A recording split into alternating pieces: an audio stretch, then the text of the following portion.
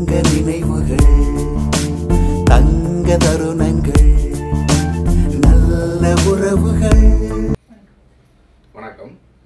என்னுடைய பெயர் Neer Raja Palanikumar. Best photography today மாத இதழின் ஆசிரியராக கடந்த பதினெட்டு வருடங்களாக இருந்து வருகிறேன். இந்த மாத இதழ் தமிழில் புகைப்பட கலைஞர்களுக்காக தொழில்நுட்பத்தை புதிய வரவுகளை பற்றி அறிமுகப்படுத்துவதற்கும் கற்றுக் கொடுப்பதற்குமாக வெளிவரக்கூடிய ஒரு மாத இதழாக வந்து கொண்டிருக்கிறது. பெஸ்ட் ஃபோட்டோகிராஃபி டுடே தமிழ் பத்திரிக்கைக்கு ஏன் இங்கிலீஷ் பேர் வச்சீங்க? சொல்றேன். உலகத்துல வந்து ஊமைகளுக்கு கூட பாஷை உண்டு. சைன் லாங்குவேஜ்னு சொல்லுவாங்க. அந்த சைன் லாங்குவேஜ் தமிழுக்கு ஒரு சைன் லாங்குவேஜ் ஆங்கிலத்துக்கு ஒரு சைன் லாங்குவேஜ் மற்ற மொழிக்கு ஒரு சைன் லாங்குவேஜ்னு இருக்குது ஆனால் ஃபோட்டோகிராஃபிக்கு மட்டும்தான் மொழி கிடையாது. நீங்கள் எந்த ஆளை படம் எடுத்தாலும் அது உணர்வு பூர்வமாக இருந்துச்சுன்னா மக்களை உறுதியாக பாதிக்கும். அதுக்கு எல்லாரும் சொல்கிற ஆப்கான் கேர்ள் எல்லாருக்கும் தெரியும். வியட்நாம் நோபாம் கேர்ள் ரொம்ப பேருக்கு தெரியும். இப்போ கடைசியில் கடற்கரையில் ஒருங்கள அயலானை பற்றி ரொம்ப பேருக்கு தெரியும். சூடானில் நடந்த அந்த கழுகும் அந்த பெண் குழந்தையும் எப்படின்றது தெரியும். இதுக்கு எதுக்குமே மொழி கிடையாது. ஆனால் மக்கள்கிட்ட இந்த படத்தை பார்த்த உடனேயே ஒரு பெரிய மி- மிகப்பெரிய தாக்கம் ஏற்பட்டுச்சு. அதே மாதிரி சைகேங்கில் வந்து ஒருத்தர் ஒரு போலீஸ்காரர் தலையில் பக்கத்தில் வச்சு சுடுறதை பார்த்த பிறகுதான் வியட்நாமை விட்டு நோபாம் கேலை பார்த்த பிறகுதான் இந்த போரை நம்ம நிப்பாட்டுவோம் அப்படின்ற ஒரு முடிவுக்கு அமெரிக்காவே வர முடியுச்சு இந்த படத்தை வச்சு தான் இந்த போர் முடிவுக்கு வந்துச்சு எத்தனை பேருக்கு தெரியும்? அதனால் இந்த ஃபோட்டோகிராஃபிக்கு வந்து மொழி கிடையாதுன்றதுனால நான் ஃபோட்டோகிராஃபி ஃபோட்டோகிராஃபின்னு தான் சொல்லணும். ஏன்னா ஆங்கிலம் வளர்கிறதுக்கு ஒரு காரணம் சொல்லுவாங்க. இட்லின்னா இட்லின்னே இங்கிலீஷில் எழுதிடுவாங்க கட்டுமரம்னா கட்டுமரம்னு அவங்க இங்கிலீஷில் எடுத்துக்கிடுவாங்க அதே மாதிரி பெஸ்ட்டு ஃபோட்டோகிராஃபி டுடேன்றதே என் பத்திரிகைக்கு பேராக வைக்கும் பொழுது நான் ஜப்பான் ஜெர்மன் போன்ற நாடுகளில் கேமரா லென்ஸு இவங்கெல்லாம் தயாரிக்கிற கம்பெனிகளுக்கு விவரம் கேட்டு எழுதும் பொழுது நான் ஒளிப்படக்கலை அப்படின்னு ஒரு தலைப்பு வச்சுட்டு பத்திரிகை அப்படின்னு அனுப்புனேன்னா அவங்களுக்கு இது என்ன மாதிரியான பத்திரிகை என்ன வருதுன்ற விளக்கம்லாம் சொல்ல வேண்டியிருக்கும். ஆனால் பெஸ்ட்டு ஃபோட்டோகிராஃபி டுடேன்ற வாசகத்தை பார்த்த உடனே அவங்களுக்கு இது என்ன விதமான பத்திரிகைன்னு தெரிஞ்சு எனக்கு உடனே பதில் கொடுக்குறாங்க. இது வந்து எனக்கு மிகப்பெரிய பிரயோஜனமாக இருந்துச்சு. சார் உங்கள் ஃபேமிலி பற்றி கொஞ்சம் சொல்லுங்கள் சார். என்னுடைய குடும்பம் வந்து ஒரு அளவான குடும்பம். என்னுடைய தாய் தந்தை இருவரும் ஆசிரியர்கள். எனது மனைவியும் ஆசிரியர். எனது மாமியாரும் ஆசிரியர். எனது மாமனாரும் ஆசிரியர். நான் பத்திரிகை ஆசிரியர். இவ்வளோதான் என்னுடைய பையன்கள் இரண்டு பேரும் வழக்குரைஞர்களாக இருக்கிறாங்க. நான் திருமணம் முடிக்கும் பொழுது எனது மனைவி பத்தாவது படிச்சிருந்தாங்க. இன்னைக்கு டாக்டரேட் பண்ணி முடிச்சிட்டாங்க. ஆசிரியர் பணியில் தான் இருக்காங்க. இருந்தாலும் அவங்க படிப்பு ஒன்று தான் பெண்களுக்கு நிரந்தரம் அப்படின்றத மனசில் வச்சுக்கிட்டு தொடர்ந்து படித்து டாக்டரேட் வரைக்கும் வந்து முடிச்சிருக்காங்க. இதுதான் என்னுடைய குடும்ப சூழல். எங்கள் அப்பா ஆசிரியராக இருந்தாலும் கிட்டத்தட்ட ஐம்பது வருடங்களாக ஆர்கானிக் விவசாயத்தில் மிக ஒரு முன்னோடியான விவசாயியாக இருந்தார். எங்கள் வீட்டுக்கு வராத பெரிய ஆர்கானிக் தொடர்பான அது நம்மாழ்வாராக இருக்கட்டும் புளியங்குடி அந்தோணிசாமியாக இருக்கட்டும் இப்போ இருக்க பாமையனாக இருக்கட்டும் எல்லாருமே எங்கள் வீட்டில் வந்து இருந்து இந்த ஆர்கானிக் விவசாயத்தை பற்றி பேசி எல்லாமே பண்ணியிருக்காங்க. எங்கள் அப்பா ஆர்கானிக் விவசாயத்தை பற்றி ஒரு நான்கு புத்தகங்கள் எழுதியிருக்கிறார்.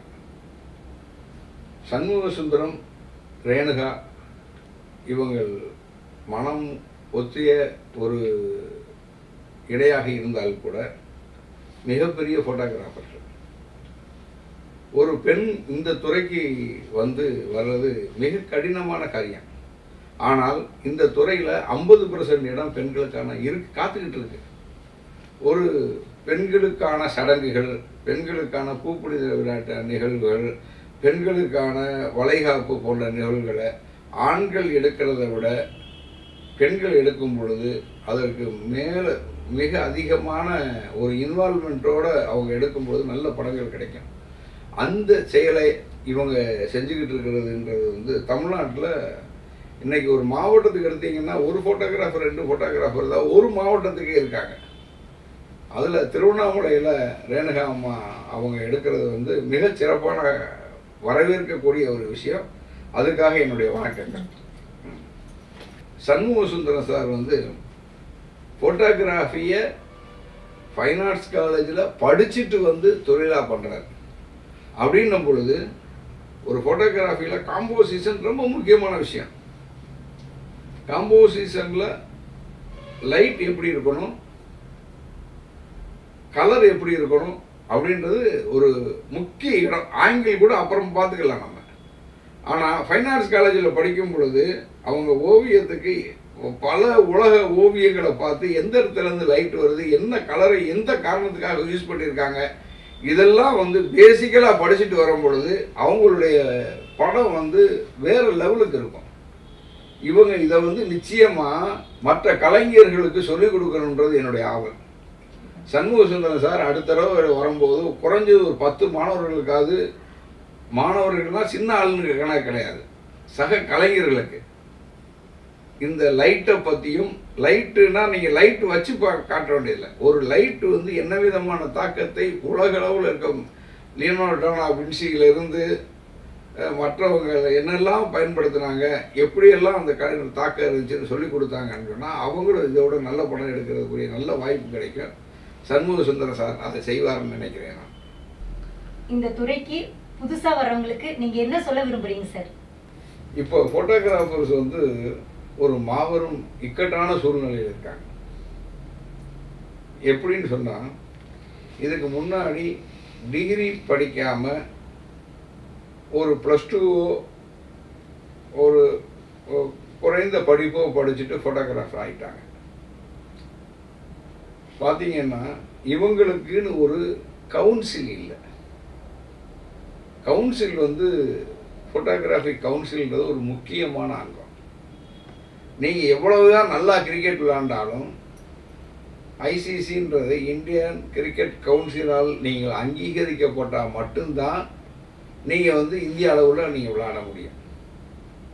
ஐந்து வருட காலம் ஒரு வக்கீல் படித்தா கூட அவர் நாளைக்கு போய் வழக்காடு மன்றத்தில் கோர்ட்டில் போய் வாதாட முடியாது. அவர் இந்தியன் பார் கவுன்சிலில் மெம்பரானால் மட்டும்தான் அவர் வந்து வழக்காட முடியும்.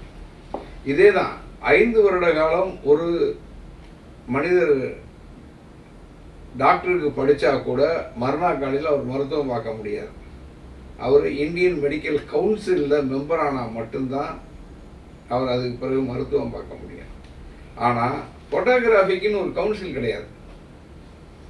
கவுன்சில் இல்லைன்னும் பொழுது நாளைக்கு இந்த தொழிலை திடீர்னு ஒரு கவுன்சில் ஏற்படுத்தி இந்த படிப்பு படித்தா மட்டும்தான் நீங்கள் இந்த தொழிலை செய்யணும் அப்படின்னு ஒரு விஷயம் வந்துடும் நான் இதை மிக விரைவில் எதிர்பார்க்குறேன்.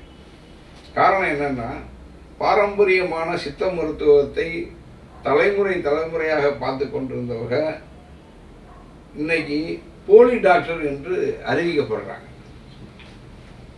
ஆனால் ஐந்து வருட காலம் அவர் எத்தனை படிச்சுட்டு வந்த உடனே ஒரு கவுன்சிலில் பதிவு பண்ணணும் அவர் டாக்டர் உண்மையான டாக்டர்ன்றாங்க. அதே மாதிரி நாளைக்கு டிஸ்காமோ மாஸ் கம்யூனிகேஷனோ இல்லை ஃபைனான்ஸ் காலேஜில் ஃபோட்டோகிராஃபியோ படிச்சுட்டு வந்தவர் மட்டும்தான் இந்த தொழிலில் வர முடியும். அவங்களுக்கான ஒரு கவுன்சில் ஏற்படுத்தி அதில் பதிவு பண்ண ஆரம்பிச்சிட்டாங்கன்னா இன்றைக்கு இருக்கிற புகைப்பட கலைஞர்கள் வந்து இந்த தொழில்களை வர முடியாத ஒரு இக்கட்டான சூழ்நிலை வந்துடும் அதற்காக இப்போ இருக்கிற சங்கங்கள் அமைப்புகள் அரசு எல்லாருமே ஒளிப்பட கலைஞர்களுக்காக ஒரு கவுன்சிலை ஏற்படுத்தி இவங்களை பதிவு செய்து நான் சொல்கிறது நல்லா புரிஞ்சுக்கோங்க லேபர் ஆக்ட் கிடையாது. இவங்களுக்கான கவுன்சில் ஏற்படுத்தினாங்கன்னா மட்டும்தான் இவங்க வாழ்க்கை சிறப்படைய முடியும். ரொம்ப சிம்பிளாக சொல்கிறேன் ஒளிப்படத்துறையில் வந்து கேமரா எடுத்தவெல்லாம் போய் படம் எடுத்துட முடியாது.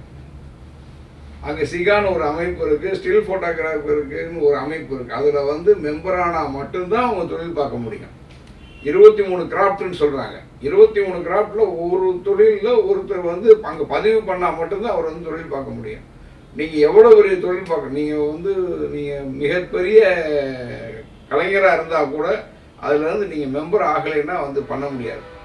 அதே நிலைமை வந்து இங்கே வந்துடும் அதனால் தயவு செய்து கவுன்சில் ஏற்படுத்துறதுக்கு ஒரு ஒரு நிலையை ஏற்படுத்துங்க.